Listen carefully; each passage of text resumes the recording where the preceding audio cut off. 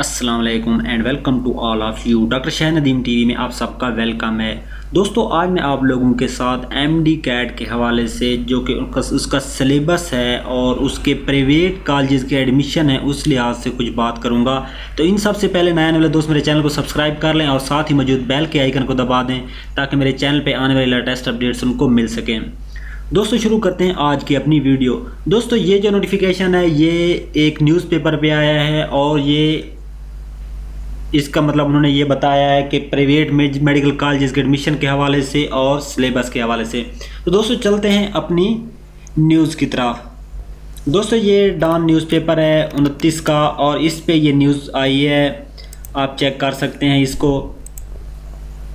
इसमें उन्होंने तो एक तो ये कहा है कि जैसा कि आप जानते हैं कि स्टूडेंट जो है काफ़ी अरसे से वो एक सिलेबस की तैयारी कर रहे हैं एम डी कैट के हवाले से तो उन्होंने केस किया था कोर्ट में कि पहले हमारा जो एम डी कैट का सिलेबस है वो कुछ और था और अब जो है वो कुछ और हो गया है।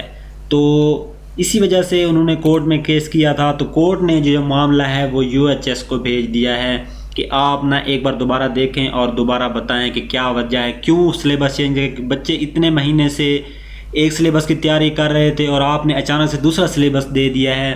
तो ये उनके लिए बहुत मुश्किल है और ये उनके लिए मतलब मुश्किल पैदा कर रहा है। तो कोर्ट ने जो मामला है, वो यूएचएस को भेज दिया। हालाँकि कोर्ट को जो मामला है, वो पीएमसी को भेजना चाहिए था कि वो सिलेबस में कमी करे या सिलेबस की चेंजिंग का बताए या जो कुछ भी करना है, वो बताए। लेकिन कोर्ट ने ये मामला यू, हालाँकि यूएचएस में इसका कोई वो नहीं है, हल नहीं है।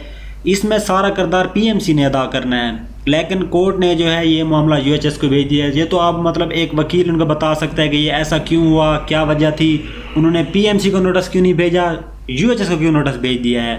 तो इस हवाले से दूसरी बात करेंगे दोस्तों।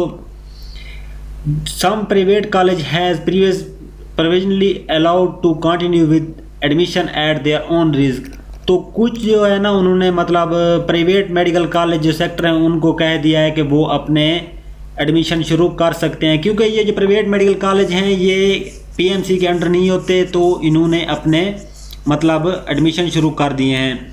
दोस्तों, इसमें आप देख सकते हैं, उन्होंने कोई नाम मेंशन नहीं किया, किसी प्राइवेट कॉलेज का बताया नहीं कि इस इस कॉलेज में या इस कॉलेज में होने जा रहे हैं।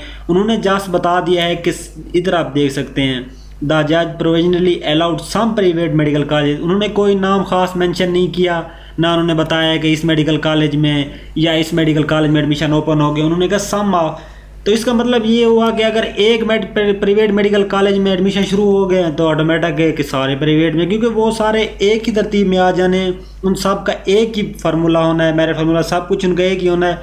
तो इसका मतलब ऑटोमेटिक यही हुआ कि सारे प्राइवेट कॉलेजेस में जो है एडमिशन शुरू हो चुके हैं।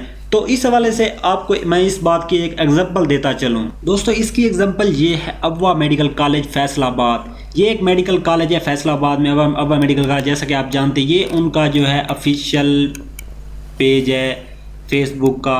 तो उन्होंने जैसे ही ये उनकी देखे पंद्रह आवर अगो की एक स्पॉन्सर पो, पोस्ट आई हुई है। कि उन्होंने अपने जो है मेडिकल एडमिशन ओपन कर दिए एम सेशन 2020 से 2021 के लिए।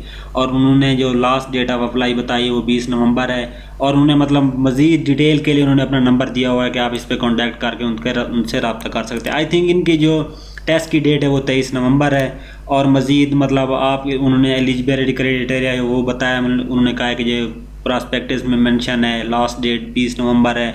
उसके अलावा बाकी उन्होंने मतलब मज़ीद ये नंबर दे दिया है कि आप इस पर कॉन्टैक्ट करके हमसे रबता करके मज़ीद इन्फॉर्मेशन ले सकते हैं। तो दोस्तों, इसी के साथ ही मिलते हैं अपने नेक्स्ट वीडियो में। अल्लाह